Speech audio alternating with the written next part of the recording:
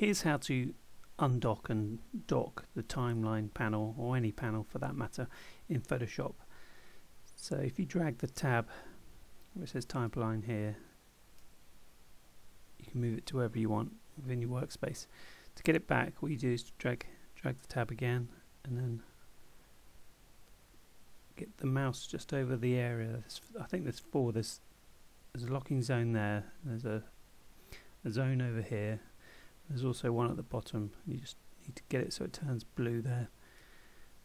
And let go of the mouse. That's all there is to it. Just do that again.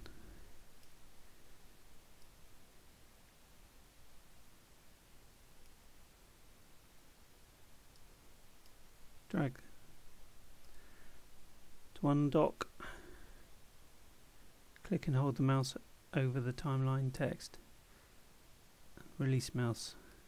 That's it.